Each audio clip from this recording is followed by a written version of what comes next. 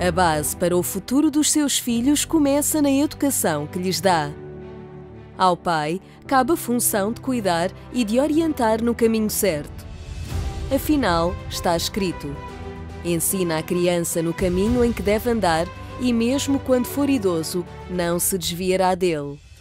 No próximo domingo, dia 12 de agosto, estaremos a realizar uma oração por si, Pai, para que Deus lhe dê sabedoria para ensinar e educar os seus filhos no caminho certo, para que saiba transmitir a fé viva e ser um exemplo de força, coragem e determinação.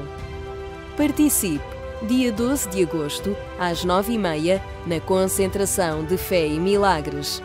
Consagração especial para pais e filhos, no Templo Maior, Rua Doutor José Espírito Santo, número 36, em Lisboa, ou numa Universal mais perto de si.